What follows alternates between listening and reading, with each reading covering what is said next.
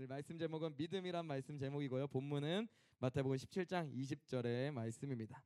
오늘 제가 청년부에게 전할 메시지는 한 두 가지 정도 되는 것 같습니다. 두 가지. 첫 번째 무엇이냐? 하나님께서 우리에게 꼭 주고 싶은 것이 무엇인지 한번 보도록 하겠습니다. 하나님께서 우리에게 주고 싶은 것이 무엇일까? 주님께서 주고 싶은 것이 무엇일까? 첫 번째 알아볼 것이고요. 어, 두 번째 이것 하나님께서 꼭 주고 싶은 것 이것을 주시기 위해 하나님께서 우리에게 베풀어 주시는 것이 무엇인지 한번 보도록 하겠습니다. 하나님께서 우리에게 주고 싶은 것이 있어요. 또 하나님께서 이것을 주기 위해서 우리 가운데 행하시는 것이 있습니다. 그것에 대해서 한번 보도록 하겠습니다.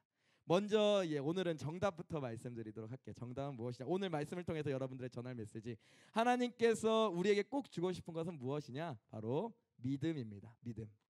그리고 이 믿음을 주시기 위해서 하나님께서 우리에게 주시는 상, 어, 주시는 것은 무엇이냐?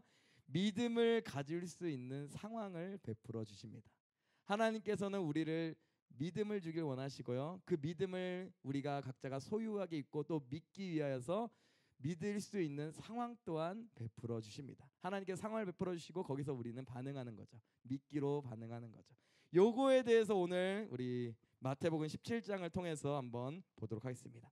마태복음 17장에서는 하나님께서 믿음을 주시고 또 믿음을 어, 가질 수 있는 상황을 만들어 주시는 예시가 두 가지가 나옵니다. 그래서 이 두 가지 예시를 통해서 예수님께서 특별히 예수님께서 우리에게 무엇을 믿어야 되는지에 대해서 알려주고 계세요.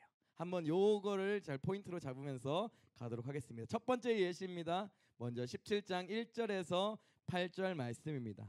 예수님께서 영광스러운 모습으로 변하시는 것을 얘기하시죠. 우리 17장 1절에서 8절 말씀 같이 읽어보도록 합니다. 같이 읽습니다. 시작. 엿새 후에 예수께서 베드로와 야고보와 그 형제 요한을 데리고 따로 높은 산에 올라가셨더니 그들 앞에서 변형되사 그 얼굴이 해같이 빛나며 옷이 빛과 같이 희어졌더라. 그때 모세와 엘리야가 예수와 더불어 말하는 것이 그들에게 보이거늘 베드로가 예수께 여쭈어 이르되 주여 우리가 여기 있는 것이 좋사오니 만일 주께서 원하시면 내가 여기서 초막 셋을 짓되 하나는 주님을 위하여 하나는 모세를 위하여 하나는 엘리야를 위하여 하리이다 말할 때 호련히 빛난 구름이 그들을 덮으며 구름 속에서 소리가 나서 이르시되 이는 내 사랑하는 아들이요 내 기뻐하는 자니 너희는 그의 말을 들으라 하는지라 제자들이 듣고 엎드려 심히 두려워하니 예수께서 나와 그들에게 손을 대시며 이르시되 일어나라 두려워하지 말라 하시니 제자들이 눈을 들어 보매 오직 예수 외에는 아무도 보이지 아니하더라라고 얘기합니다.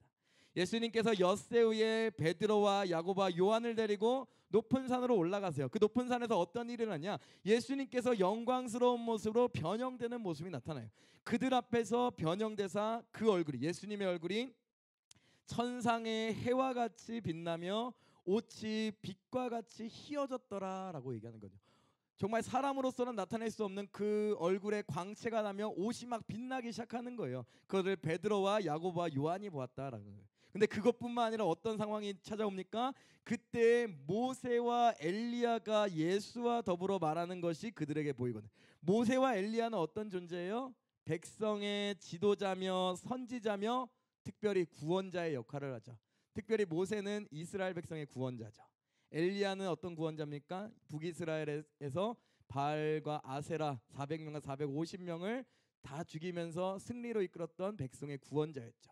백성의 구원자로 인식되는 모세와 엘리야가 지금 예수와 더불어 말하는 것이 그들에게 보였다라는 거예요. 셋이 다 나란히 그 영광스러운 모습이 그들에게 제자 세 명의 제자에게 비춰진 거예요.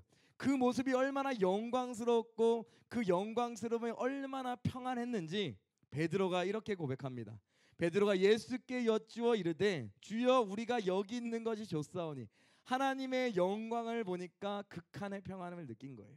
극한의 평안. 저는 개인적으로 그런 경험이 한 번 있습니다. 하나님의 임재를 맛봐서 진짜 극한의 평안을 맛봤는데 정말 세상과 나는 간곳 없고 구속한 주만 보이도다라는 고백이 무엇인지 살짝 알 것 같아요. 그러면서 뭐, 그 아마 베드로도 그런 느낌이지 않았을까 생각을 합니다. 저도 그 어떤 그 베드로의 경험에 정말 저의 경험은 되게 세 발에 피겠지만 베드로가 하여튼가 하나님의 임재를 맛보고 예수님의 그 임재를 맛보고 나서 이렇게 고백하는 거예요. 주여 우리가 여기 있는 것이 좋사오니 세상과 나는 간 곳이 없고 여기 있는 게 좋다. 하나님 영광 안에 있는 것이 좋다라고 고백하고 있는 장면이죠. 좋사오니 만일 주께서 원하시면 내가 여기서 초막 셋을 짓되 하나는 주님을 위하여 하나는 모세를 위하여 하나는 엘리야를 위하여 하리이다라고 얘기하면서 하나는 주님을 위하여 초막을 짓고 하나님의 성전을 짓고 또 모세를 위해 하나 짓고 또 엘리야를 위해서 짓겠다라고 고백하고 있는 거예요. 그 하나님의 그 임재 앞에 너무나 감탄 감탄하면서 얘기하고 있는 거죠.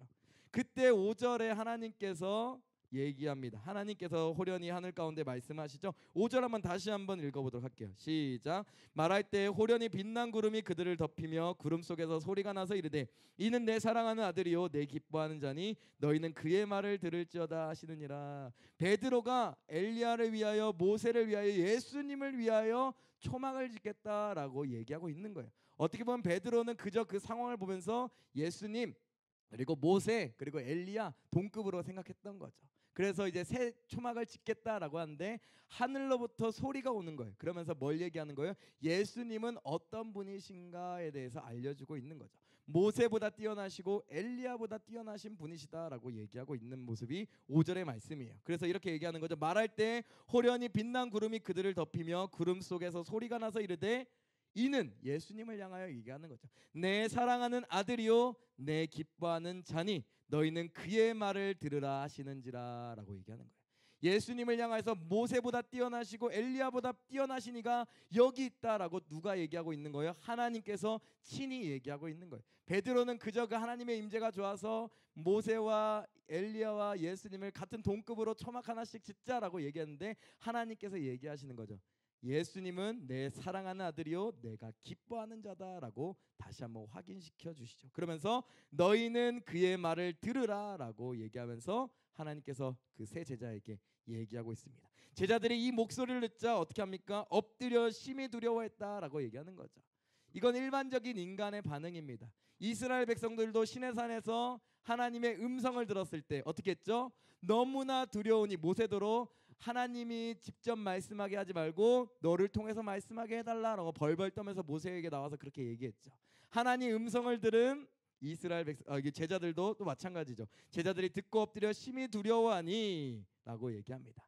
그때 너희는 그의 말을 들으라라고 끝나고 나서 예수님께서 뭐라고 얘기, 예수님께서 이제 등장하시는 거예요. 7절에 예수께서 나와 그들에게 손을 대시며 이르시되 일어나라 두려워하지 말라 하시니라고 얘기합니다. 여기서 명확해진 거죠. 5절에 너희는 그의 말을 들으라 바로 예수님의 말을 들으라라고 얘기하는 거. 예수께서 나와 그들의 손을 대시며 이르시되 일어나 두려워하지 말라 하시니 제자들이 눈을 들고 보매 오직 예수 외에는 아무도 보이지 아니하더라. 모세나 엘리야는 어딘 간 곳 없고 예수님만 보이고 하늘로부터 들렸던 음성 이는 내 사랑하는 아들이요 내 기뻐하는 자다 너희는 그의 말씀을 들어라라고 하는 것이 바로 예수님의 말씀을 들어라라고 얘기하고 있는 거죠. 이제 한 가지 예시가 나왔습니다. 어떤 예시예요? 하나님께서 우리에게 믿음을 주고자 하는 상황을 만들어 주신 거예요. 어떤 상황을 만들어 주셨어요? 하나님의 크신 임재를 만들어 주셨어요. 그러면서 이제 어떤 것을 믿어야 되는지 제시하고 있습니다. 예수님의 말씀을 한번 볼게요. 구절 말씀 한번 같이 읽어보도록 하겠습니다. 같이 읽습니다. 시작. 그들이 산에서 내려올 때 예수께서 명하여 이르시되 인자가 죽은 자 가운데서 살아나기 전에는 본 것을 아무에게도 이르지 말라 하시니라고 얘기합니다. 그러면서 뭘 얘기하고 있어요? 이, 이 임, 하나님의 임재를 경험한 베드로와 야고보와 요한을 향하여서 믿을 수 없는 그 믿을 수 없는 그 경험을 하고 믿을 수밖에 없는 그 상황이 된 그 제자들을 향하여서 뭘 얘기하고 있는 거예요? 인자가 죽은 자 가운데서 살아나기 전에는 본 것을 아무에게도 이르지 말라라고 얘기하는 거예요. 뭘 믿으라는 거예요? 지금 갑자기 인자가 죽을 것이고 죽은 자 가운데서 살아날 것을 얘기하고 있는 거예요. 사실 이것은 인간적인 생각으로 볼 때 믿을 수 있는 거예요. 죽은 자가 살아난다? 믿을 수 없는 일이잖아요. 어떻게 죽은 자가 살아나는 건 있어서 어떻게 보면 있어서는 안 되는 일이고 어떻게 보면 자연의 법칙상 위배되는 거고 어떻게 일반적이지 않은 거잖아요. 근데 그거에 대해서 뭐라고 하는 거예요? 예수님께서 믿어라라고 얘기하면서 아무에게도 이르지 말라 하면서 자신이 죽을 것과 부활할 것에 대해서 죽음과 부활에 대해서 알려주고 있는 거예요. 그래서 제자들이 물어 이르되 그러면 어찌하여 서기관들이 엘리야가 먼저 와야 하리이다 하나이까 예수께서 대답하여 이르시되 엘리야가 과연 먼저 와서 모든 일을 회복하리라. 내가 너에게 말하노니 엘리야가 이미 때 사람들이 알지 못하고 의미로 대우하였도다. 인자도 이와 같이 그들에게 고난을 받으리라 하면서 예수님이 자신이 죽었다가 부활할 것에 대해 얘기하면서 자신이 메시아로서 죽었다가 부활할 것에 대해 얘기하면서 제자들에게 얘기합니다. 그때 제자들이 또 얘기하는 거죠. 그렇다면 메시아가 오기 전에 엘리야가 와야 된다고 그러는데 엘리야 어디 있습니까? 예수님께서 얘기하시는 거죠. 엘리야가 과연 먼저 와서 모든 일을 회복하였다. 내가 너희에게 말하노니 엘리야가 이미 때 사람들은 알지 못하고 임의로 대우하였도다. 인자도 자신도 이와 같이 그들에게 고난을 받고 고난을 받을 것이다라고 얘기하고 있는 거죠. 그렇게 하시니 13절 그제서야 제자들이 예수께서 말씀하신 것이 그 엘리야가 바로 세례 요한인 줄 깨달으니라라고 얘기하고 있죠. 예수님이 지금 수많은 하나님의 임재를 나타내고 믿을 수 없는 상황밖에 상황을 만들어 주시면서 뭘 믿으라고 얘기하는 거예요? 예수님이 구원자시고 또 죽었다가 살아나실 걸 죽음과 부활에 대해서 믿어라라고 얘기하고 있는 거예요. 첫 번째 예시입니다. 이제 두 번째 예시에 대해서 보도록 할게요. 두 번째 예시. 우리 14절부터 20절까지 한번 같이 읽어보도록 하겠습니다. 시- 같이 읽습니다. 시작. 그들이 무리에게 이름에 한 사람이 예수께 와서 꿇어 엎드려 이르되 주여 내 아들을 불쌍히 여기소서 그가 간질로 심히 고생하여 자주 불에도 넘어지며 불에도 어, 불에도 넘어지며 물에도 넘어지니라 내가 주의 제자들에게 데리고 왔으나 능히 고치지 못하더이다. 예수께서 대답하여 이르시되 믿음이 없고 패역한 세대여 내가 얼마나 너희와 함께 있으며 얼마나 너희에게 참으리요 그를 이리로 데려오라 하시니라 이에 예수께서 꾸짖으시니 귀신이 나가고 아이가 그때부터 나으니라. 이때 제자들이 조용히 예수께 나와 이르되 우리는 어찌하여 쫓아내지 못하였나이까? 이르시되 너희 믿음이 작은 까닭이니라. 진실로 너에게 이르노니 너, 만일 너희에게 믿음이 겨자씨 한 알만큼만 있어도 이 산을 명하여 여기서 저기로 옮겨지라 하며 옮겨질 것이며 또 너희가 못할 것이 없으리라라고 얘기하고 있죠. 어떤 한 가지 상황이 나옵니다. 어떤 상황이죠? 귀신 들린 아이가 왔는데 제자들이 쫓아내지 못하고 있는 상황이에요. 그 상황에 대해서 잠깐 다시 한번 보면 그들이 무리에게 이름에 예수님과 그 세 명의 제자가 무리에게 이르렀어요. 제자들에게 이랬죠. 한 사람이 예수께 와서 꿇어 엎드려 얘기합니다. 15절에 보면 내 아들을 불쌍히 여겨 주십시오. 그 자가 어, 내 아들이 귀신으로 관질로 들려 가지고 불에도 넘어지고 물에도 넘어집니다. 내가 당신의 제자들에게 이 아이를 데리고 왔는데 능히 고치지 못합니다. 예수님이라고 얘기합니다. 17절 예수님께서 그 모습을 보시고 꾸짖으시면서 얘기하고 있죠. 믿음이 없고 패역한 세대여 내가 얼마나 너희와 함께 있으며 얼마나 너희에게 참으리요라고 얘기하면서 믿음이 없음을 꾸짖고 계십니다. 믿음이 없는 자를 뭐라고 얘기하고 있어요? 패역한 세대라라고 얘기하고 있어요. 내가 너희와 함께 있음에도 불구하고 너희 다 믿지 않느냐라고 얘기하는 거예요. 그러면 얼마나 참으리요 그를 이리로 데려오라 하시니 이에 예수께서 꾸짖으시니 귀신이 나가고 아이가 그때부터 나았다. 믿음이 없음을 책망하시면서 예수님께서 그 아이 그 귀신 들린 아이의 귀신을 쫓아내셨던 것을 볼 수가 있는 거죠. 그때 19절 그 모습을 보고 나중에 제자들이 찾아옵니다. 19절 제자들이 조용히 예수께 나와 이르되 우리는 어찌하여 이 귀신을 쫓아내지 못하였습니까 주님? 그때 예수님께서 이렇게 얘기하십니다. 너희 믿음이 작은 까닭이니라라고 얘기하는 거죠. 너희의 믿음이 작은 까닭에 귀신을 쫓아내지 못했다라고 얘기하는 거죠. 너희에게 이르노니 만일 너희에게 믿음이 겨자씨 한 알만큼만 있어도 어떻게 하겠다?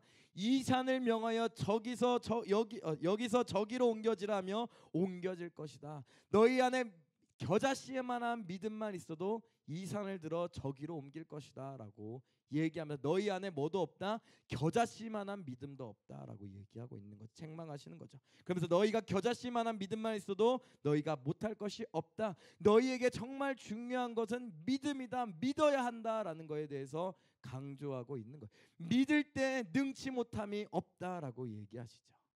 그러고 한 가지 이렇게 예시를 들면서 예수님은 믿는 자이시기 때문에 온전히 하나님과 연합한, 자이시기 때문에 귀신을 쫓아냈던 능력을 보여주신 거죠. 그래서 제자들에게 믿음을 가져라라고 얘기하고 있는 모습입니다. 그러고 나서 믿음에 대해서 강조하시고 나서 예수님께서 또 뭐 무슨 얘기를 하시는지 보도록 할게요. 예수님의 말씀 17장 22절부터 23절 말씀입니다. 같이 읽도록 하겠습니다. 있습니다. 시작. 갈릴리에 모일 때 예수께서 제자들에게 이르시되 인자가 장차 사람들의 손에 넘겨져 죽음 죽임을 당하고 제 3일에 살아나리라 하시니 제자들이 매우 근심하더라. 두 번째 예시도 동일하죠. 첫 번째 예시와 같이 믿을 수 있는 상황을 보여주시고 믿음에 대해서 강조해 주면서 무엇을 믿으라고 얘기하고 있는 거예요. 지금 바로 예수님이 인자가 장차 사람들에 넘겨지고 죽음을 당하고 제3일에 살아날 것. 죽음과 부활에 대해서 믿어라. 예수님의 죽음과 부활에 대해서 믿어라라고 얘기하고 있는 거예요. 예수님께서 우리에게 믿음을 주고 싶습니다. 믿을 수 있는 상황까지 허락하여 주십니다. 근데 그것이 우리가 어떤 믿음을 향해 어떤 믿 어떤 걸 믿어야 된다고 예수님께서 얘기하는 거예요. 예수님의 죽음과 부활을 믿어야 된다라고 얘기하고 있는 것이죠. 제자들에게 예수님께서 요청하시고 또 우리에게 요청하시는 것이 무엇이냐? 바로 믿음입니다. 근데 그 믿음이 바로 예수님의 죽음과 부활을 믿는 믿음이다라고 얘기하는 거죠. 지난주에도 이거와 동일하게 했죠. 믿음에 대한 주제로서 지난주에도 예수님께서 무엇을 믿으라고 했습니까? 16장 21절 말씀 찾아볼게요. 16장 21절. 16장 21절. 지난주에 설교도 믿음에 예수님께서 믿음을 강조하시면서 믿으라고 한 내용이 뭐였죠? 21절 말씀 보면 이때로부터 예수 그리스도께서 자기가 예루살렘에 올라가 장로들과 대제사장들과 서기관들에게 많은 고난을 받고 죽임을 당하고 제3일에 살아나야 할 것을 제자들에게 비로소 나타내시라. 예수님의 죽음과 부활을 믿어라. 또 오늘 말씀 17장 9절 말씀 인자가 죽은 자 가운데 살아나기 전에는 본 것을 아무에게도 이르지 말라. 인자가의 죽음과 부활. 또 아까 읽었던 말씀 22절 23절 갈릴리에 모일 때 예수께서 제자들에게 이르시되 인자가 장차 사람들의 손에 넘겨져 죽임을 당하고 제3일에 살아나리라 죽음과 부활을 믿어라라고 예수님께서 얘기하고 있죠. 왜 그렇다면 예수님께서 이것을 믿으라 하셨느냐? 특별히 죽음과 부활을 믿으라 하셨느냐? 바로 그것은 이유는 바로 무엇이냐? 우리를 새 생명 가운데 살게 하기 위함인 줄 믿습니다. 아멘.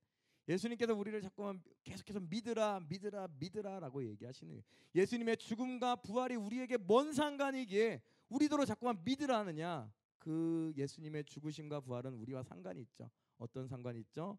우리가 영원한 생명, 새 생명 가운데 거할 수 있는 유일한 길인 줄 믿습니다. 로마서 말씀 한번 찾아보도록 하게요. 로마서 4장 9절에서 18절 말씀입니다. 예수님께서 우리 믿으라 그러 믿으면 우리에게 새 생명 주시기 위함이다. 왜 우리에게 새 생명 주시길 원하시냐? 첫 번째로 우리는 다 죄 아래에 있기 때문입니다. 4장 9절에서 18절 말씀 아, 로마서 4장 아 로마서 3장 3장 9절에서 18절 말씀 보도록 할게요.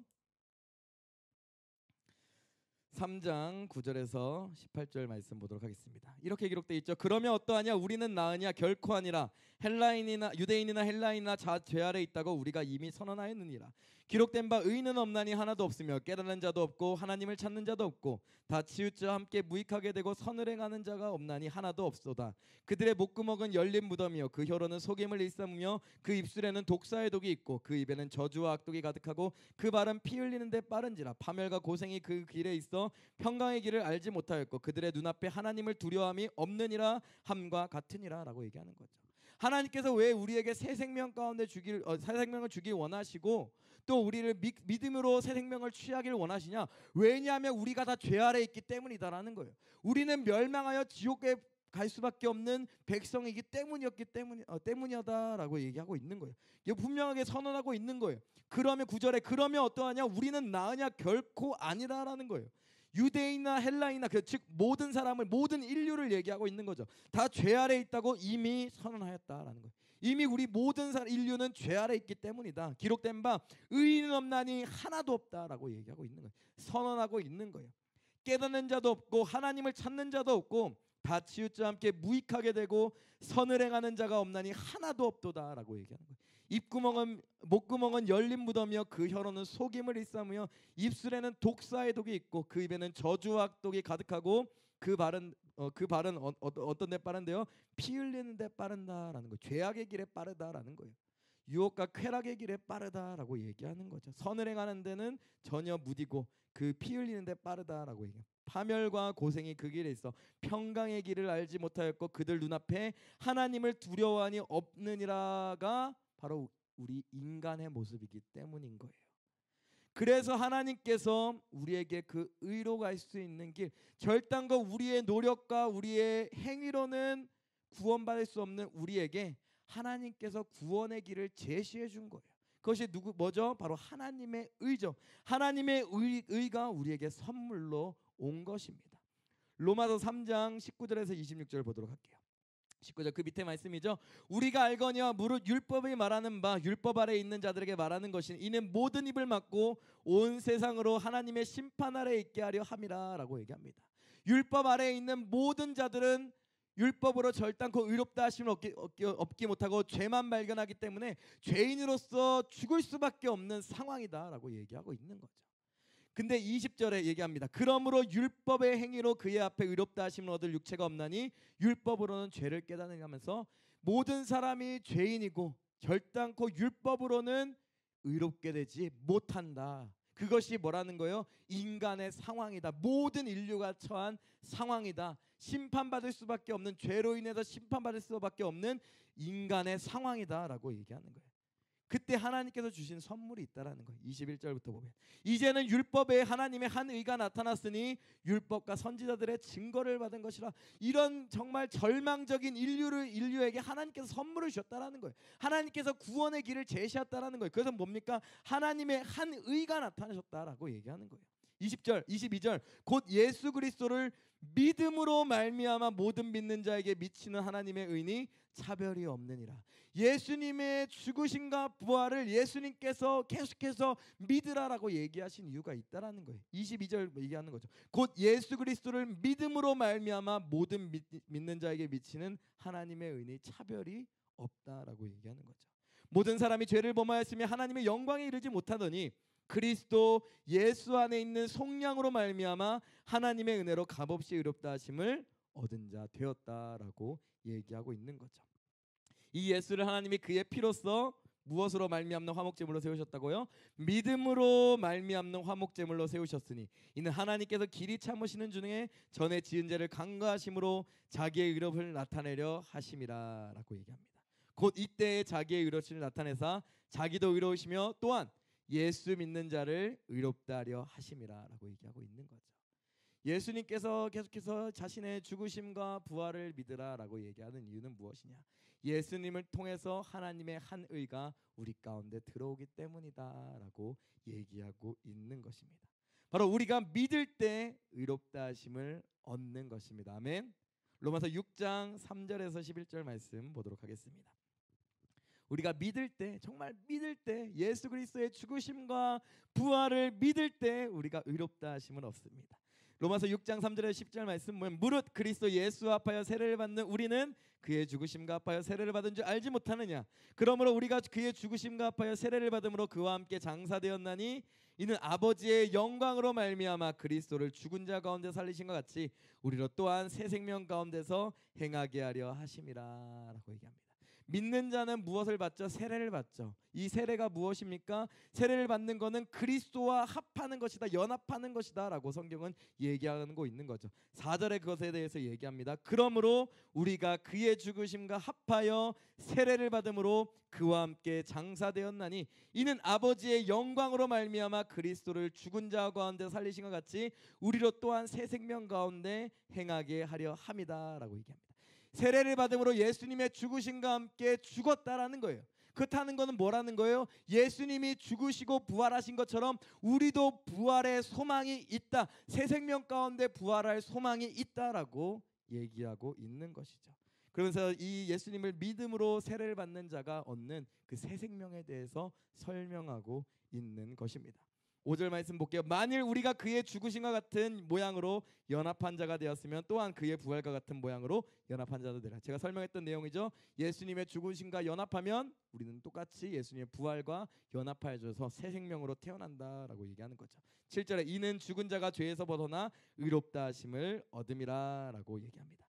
만일 우리가 그리스도와 함께 죽었으면 또한 그와 함께 살 줄을 믿노니 이는 그리스도께서 죽은 자 가운데서 살아나셨음에 다시 죽지 아니하시고 사망이 다시 그를 주장하지 못할 줄을 알미로다. 그가 죽으심은 죄에 대하여 단번에 죽으심이요 그가 살아계심은 하나님께 대하여 살아계심이니 11절 이와 같이 너희도 너희 자신을 죄에 대하여 죽은 자요 그리스도 예수 안에서 하나님께 대하여는 살아있는 자로 여길지어다 라면서 예수님의 죽음과 부활을 믿을 때 우리는 예수님과 함께 죄의 몸은 죽고 새 생명 가운데 살아난다라는 것을 믿어라라고 로마서는 우리에게 얘기하고 있습니다.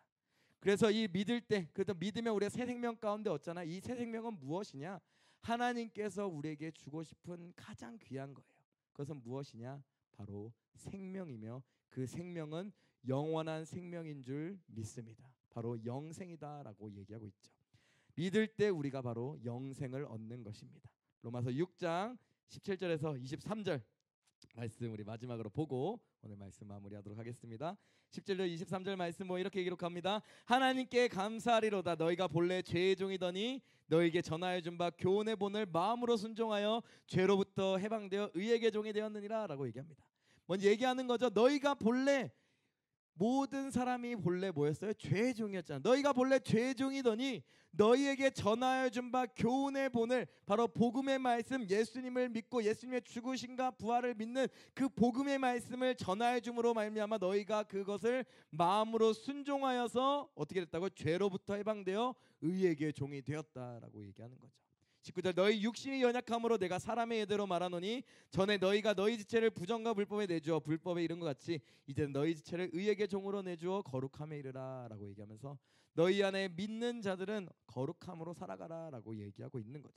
20절 너희가 죄의 종이 되었을 때 의에 대하여 자유로웠느니라. 너희가 그때 무슨 열매를 얻었느냐? 이제는 너희가 그 일을 부끄러워하나니 이는 그 마지막이 사망이라 이전에 우리가 맺었던 열매들은 예수님을 믿기 전에 맺었던 그 열매들은 예수님의 죽으심과 부활을 온전히 믿기 전에 맺었던 열매들은 어떤 거예요? 다 뭐라는 거예요? 사망이었다라는 거예요. 그렇지만 이제는 예수님의 죽으심과 부활을 믿는 자들은 어떤 열매를 보는지 보도록 하겠습니다. 22절, 23절 다 같이 읽도록 하겠습니다. 함께 읽습니다. 시작. 그러나 이제는 너희가 죄로부터 해방되고 하나님께 종이 되어 거룩함에 이르는 열매를 맺었으니 그 마지막은 영생이라. 죄의 삭은 사망이요 하나님의 은사는 그리스도 예수 우리 주 안에 있는 영생이니라라고 얘기합니다. 우리가 믿을 때 하나님께서 우리에게 간, 간, 정말로 주고 싶은 것 바로 생명 영생인 줄 어, 믿으시기를 또 예, 영, 영생이시는 것을 깨닫는 우리 예담 청년부 한 사람 한 사람 되시기를 예수는 간절히 소망하고 축복합니다. 오늘 말씀 결론 맺도록 하겠습니다. 하나님께서 우리에게 꼭 주고 싶은 것은 바로 뭐라고요? 바로 믿음이다라고 얘기하고 있는 거예요. 이것을 주시기 위해 우리의 삶에 역사하시고 또 기도에 응답해 주시고 그리고 무엇보다 이러한 성경의 말씀을 통해서 우리에게 믿음을 지닐 수 있는 상황 또한 만들어 주십니다. 그래서 이 믿음이 무엇을 향해 있습니까? 무엇을 믿으라라고 얘기하고 있습니까? 바로 예수님의 죽으심과 부활을 믿어라라고 얘기하면서 복음을 믿어라라고 얘기하고 있는 거죠. 마지막으로 말씀 찾아보도록 하겠습니다. 요한복음 21장 30절에서 31절 말씀입니다.